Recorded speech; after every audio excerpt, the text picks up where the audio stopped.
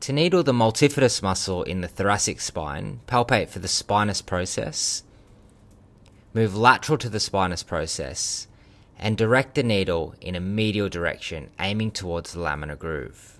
Depending on the location in the thoracic spine or the spinal segment that you are targeting the thoracic multifidus muscle, there will be several different layers of muscle to pass through before reaching the thoracic multifidus. However, the rules are still the same. Locate the spinous process, move slightly lateral to the spinous process, and direct the needle in a medial direction aiming towards the laminar groove. Approach slowly and feel for the different layers of muscle that you are passing through. It is always important to use the appropriate size needle for your patient, factoring in the amount of adiposity, the size of the person, the amount of muscle bulk, and also the depth used with your needling approach.